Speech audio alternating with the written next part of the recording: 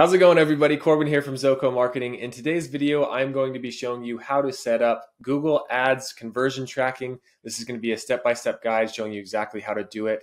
Um, before I do jump in, I do want to understand why it's important to set up conversion tracking in case you're wondering. So a couple reasons why you want to set up conversion tracking in your Google Ads account and why I never recommend anybody run a Google Ads account before you set up conversion tracking is first, um, conversion tracking allows you to understand what campaigns ad groups and keywords are driving leads and or purchases for you this means basically you're not flying blind right? You know how to optimize the account how to get the best results. So something that's very important inside of there the next is when you uh, when you set up conversion tracking this data obviously goes into google ads and that data gets shared with google. And what this does is when you're using uh, certain bidding strategies it allows Google to optimize better for that specific conversion, whether it's a lead or a purchase. And so it's, it's just a way to continue to, to get more efficiency out of your Google Ads campaigns when you're sharing that data and uh, informing the Google algorithm. the almighty algorithm. Uh, the next thing is is to just know how much it costs you to get a lead and or purchase. To be honest with you, sometimes Google just isn't a profitable thing for certain people, uh, depending on what you're looking at. And and if you're not running or you don't have conversion tracking set up, you don't know how much that lead or purchase is going to cost you, and so you're basically just throwing money at something that could be uh, wasting money essentially. So say if you know you when you generate a lead at fifty dollars and you close that lead, it's worth $100, and that's awesome, and you're profitable there. But say that that lead is costing you $110 and you didn't know that because you didn't have conversion tracking set up, then you'd basically be continue to throw money at something that isn't working. So let me show you kind of what this looks like, what conversion tracking looks like um, in an account that it's all set up, so that you can kind of get an idea on on how it could be useful. So here we are inside of an account that has um, conversion tracking set up, and I'm just going to move myself over here move myself over here.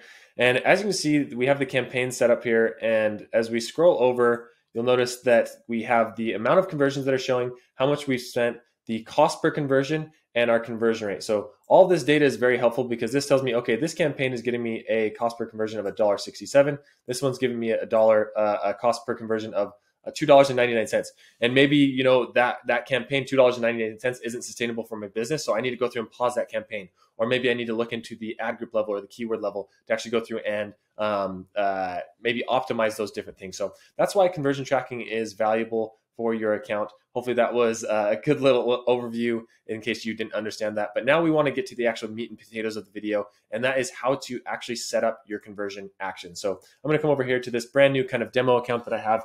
And the first thing you're going to want to do is after you have your account set up, you're going to come over to this little thing that says Tools and Settings.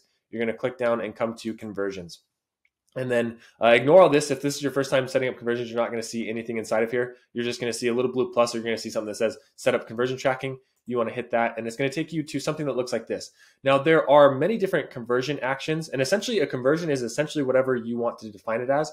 And there are many different ways to achieve the same thing uh, when setting up conversions. The first one is by importing your conversions from Google Analytics or Salesforce or other um, uh, platforms, essentially uh, through through phone calls. You can set up specific tracking for phone calls. If you have an app, you can do app installs, in-app purchases, in-app actions. And then uh, for web conversions, you have online sales, link clicks, page views, and signups. For the purpose of this tutorial, we're going to be going over website visits. If you want to learn how to import your goals from Google Analytics, I will be creating a video on this shortly. So uh, don't forget to subscribe if you're interested in that. But for here, to keep things simple, we're going to go straight into how to set up website conversions. So we're going to click on this. And then the first thing you're going to see is this it's going to ask you for a specific category. Now, um, try to be descriptive as you can with the category that you have. Obviously, um, the most common ones are going to be either purchase or if you have leads, you're going to have a sign up or a um, uh, submit a lead form. Most of the time, I go with submit a lead form if I'm setting up a lead gen campaign. So that's what we're going to do for the purpose of this. We're going to hit uh, submit lead gen form. And this doesn't matter a whole ton. This is more just for your purposes and so that you identify with what the conversion action is. So don't worry about this step too much. Next is the conversion value name. So this is where you can assign a specific name for your conversion value. Once again, this is just to help identify, help you identify what the name is. So for me, I'm just going to call this test form and we're going to scroll down. And the next thing that we have here is the value. Now here's where you can assign a specific value. Say that I know that one lead for my business equals, you know, $100. I could put that there. And then now every time that someone fills out the lead form, I will see data in Google Analytics saying that I made $100. But for for most of the time, I don't recommend adding a conversion value if you're doing leads um, because the lead can be very variable on whether the conversion value gets purchased or actually has value or if the lead closes, whatever it may be. So if, if you're doing a purchase, then this is a good option. But if you just want to um, do leads, typically I do do not assert, assign a conversion action, and it says not recommended. But uh, for leads, it's hard to know. The next that we have is the count. For leads, once again, you don't want to count every time somebody goes out and fills out a lead because that can inflate your data. So I usually choose one. If you're doing purchases, you want to keep this on every. The last little bit of settings that we have here, I'm going to move myself again. I don't recommend generally going through and messing with these settings, especially if you're new to Google Ads. If you get into more advanced settings, you can advanced levels, you can start playing with these. But this click through conversion window basically just means if um, uh, it's setting an attribution window, and you can adjust this either to you know 90, 30, uh, you know one week, two weeks, four weeks. But I generally recommend keeping it just at the 30 days there. And then same thing for an engaged view um, window. You can adjust these as well, but once again, just keep it inside of the three days if um, you're not familiar with these kind of settings. And the last thing is you do want to include this in your conversion value, your conversion column. Uh, essentially, when you would not want to include this is if you have a, a what's called a micro conversion action, maybe it's uh, time on site or something that's not as valuable as a conversion, and, and you just want to keep track of it, you can uncheck that box. But most of the time, if you're here on this tutorial, you're going to want to keep that checked as well. Last thing here is we have the attribution model. This could be a whole video uh, tutorial in itself. Um, once again, same as all the other settings, you're probably want to keep it at last click. Um, once you start getting more conversions inside of the account, and as I mentioned, getting more of that uh, data inside of there, you're going to want to probably switch to something like data driven. But as you can see, you need to have conversions inside of your account before you can start using that. As you can see, it's grayed out for me and I can't even select it. So we're going to keep that in the last click attribution and we're gonna hit create conversion here. And it's now the conversion action is created but the but uh, it's we're not done yet. Now we need to actually go through and set up our tag and add code to our website so that google knows when these events are fired and as you can see there's three different options you can do here the first one is to use google tag manager if you're not familiar with google tag manager don't worry about it i would just skip this part the next thing you can do is if you have a developer you can simply just email your developer these instructions and then they will take care of it if you have that luxury and you don't want to worry about it at all but you were here on this tutorial, so I want to teach you uh, exactly how to install the tag yourself. Trust me, it's not that hard of a process. Essentially, all it is is copying and pasting um, the actual tag. There are two different tags that we're going to have to install. The first one is the global site tag, and the next one is the event snippet. This global site tag needs to actually fire on every page of your website. So what we need to do is come over here. We're going to grab this. We're going to copy it. And um, the actual implementation will vary slightly based on whatever web platform you are or website builder you are using. For me, I am using WordPress. So we're going to go over to a WordPress site. Okay, and as far as the conversion action that we are we are setting up for today is, as you can see here, I have this test form on my website. Essentially, I just want to track anytime somebody comes into this uh, onto this page and fills out this form, so that I know if I'm sending traffic to it that it's successful and I'm generating leads. So we're going to come over here and we're on the back end of WordPress. And if you are using WordPress, what you're going to want to do is come over here to plugins and you're going to want to add a new plugin. Wait for that to load up. And then you're going to come over here to this search bar, and my head is always in the way. And you're going to search for HF um, uh, CM. I don't know why that just moved me down like that. Wait for that to load. And then this is the one that you're looking for. So header and footer code uh, manager, we're going to install this. Wait for that to load real quick. And we are so close to being done. And you'll see just how easy this is. And we're going to activate this. And as I mentioned, if you are on a different website builder, then this may look slightly different, but essentially the steps are the exact same. You just take the global site tag and you want to add it to every page of your website. So we're going to scroll here to find this Okay, so here we are, and, and, now we have the headers and footers code manager. We're going to come here to settings, click on that, and then you'll see just how easy it is to add this code here. So we're going to wait for just a second. We're going to come up here, and you'll see now that we have this option to add snippet. It's going to load up snippet name. So I'm going to call this the global site tag. Global site tag. We want this to be HTML, and then we do want this on every um, page on our site. So we're just to do site wide and then uh, we don't want to exclude any pages for this specific one. And then we're going to come over here and then we're just going to copy that code. Then simply hit save.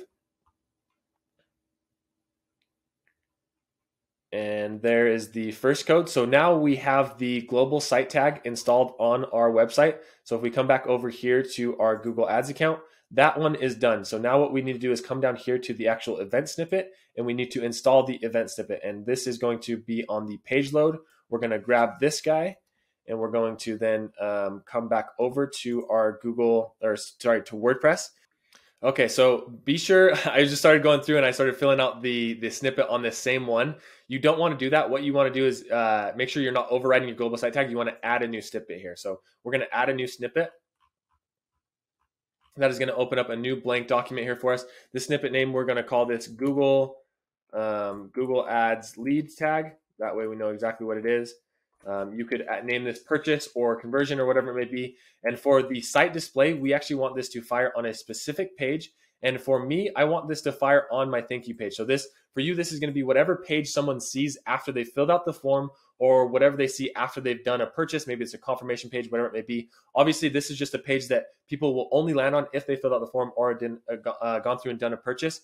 So once we have that page identified, we're then going to go over here to the code snippet we're going to uh, make sure we have the right one here. Just copy that. And then we're going to go back over, double check, fire that there. And then we're going to hit save. And then that is everything we need to do to add the code. I promised it's, it's not that difficult. It's mostly just copying and pasting. So now that we have the code installed, now it's time to go through and check and make sure everything is firing correctly. So what you're going to want to do is go over to Google and you're going to want to type in uh, Google Tag Assistant Tag Assistant. And then once you get to Google Tag Assistant, you're going to want to um, add this this uh, Tag Assistant to Chrome. As you can see, our, I already have it inside of here, but we're going to scroll back over the, to our website. Oh, actually, I guess I should save our, our code first. So before you do that, before you get the um, the uh, the tag manager, we're going to hit next, and then we're going to hit done. So now the tag is installed, everything is firing, but I want to show you how to verify that it is correctly installed. So as you see here, we have our test form. It is currently unverified. You won't see a verification until a conversion actually fires from the Google Ads inside of there. And then once that happens, you'll see, you know, you'll have a conversion action and it is included in the conversion window. And now how to check that, going back to getting Google Tag Manager. Um, you Once you have Google Tag Manager installed, you're going to come to your website. So here is the test form that I have. And what we're going to do is I'm going to click on this. Actually, I'm going to refresh this real quick. So you can see exactly what this looks like. Um, and once once we're inside of Google Tag Manager, you'll notice that inside of here, I have a lot of different tags because I've done, I've done I've, this is kind of my demo one. But you'll see that you'll you'll see that you'll have a global site tag firing, which is a good sign. And then you also see that you have your Google remarketing tag. So that means that everything is firing correctly. And if for whatever reason this is like yellow or blue I mean, yellow or red, then that means you have a problem. But if it's blue or green, that means you're doing all right. So we now have confirmed that the global site tag is firing on our website here, but we want to make sure that the form actually um, uh, fired. So now I just, I'm going to go through and fill out a test form like this. So Corbin, my name, and then the email. We're going to go through here. And then you'll notice here in, in the this, this Google Tag Manager, we'll come through and look to see if we have our um, conversion tag firing. And there it is. So we have our Google Ads conversion tracking um, currently firing, which means, hooray, we have done it. We have set up our Google t- tracking and uh, everything is all set up. So now when somebody comes in from a Google Ads campaign, goes to your form and fills it out, that data will be passed back into Google Ads so you know when it was success, when it was successful and how much it cost you to get that lead form. Uh, if you found value in the video today, please don't forget to subscribe and like this video and ping that notification bell if you want more videos just like these when they come out and we'll see you in the next one.